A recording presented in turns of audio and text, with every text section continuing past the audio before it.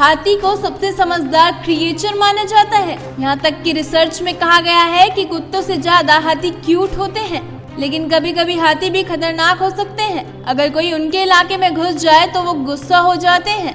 ऐसे इस वीडियो में हम आपको दिखाने जा रहे हैं। हाथी का एक वीडियो सोशल मीडिया पर काफ़ी वायरल हो रहा है। वीडियो में देखा जा सकता है, हाथी अपना आपा खोता है और गाड़ी की तरफ़ भागते हुए आता है। और गाड़ी के रूफ और पैसेंजर सीट को तोड़ देता है। ड्राइवर ने उस वक्त समझदारी दिखाई और गाड़ी को दूर ले गया। इस वीडियो में आप खुद ही देख लीजिए, हाथी को किस तरह से गुस्सा आ गया और उसने गाड़ी पर अटैक कर दिया। हालाँकि कुछ ही देर में हाथी शांत भी हो गया।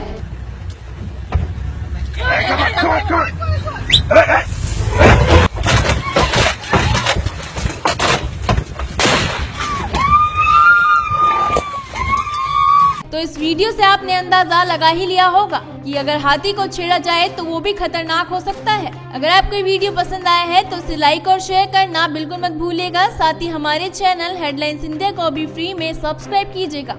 इस खबर में फ़िलहाल इतना ही, लेकिन आपको एक खबर अच्छी लगी तो इस खबर को लाइक कीजिए और चैनल को फ्री में सब्सक्राइब करना बिल्कुल मत भूलिए। अभी क्लिक कीजिए चैनल के लोगों पे और सब्सक्राइब कीजिए हेडलाइंस इंडिया।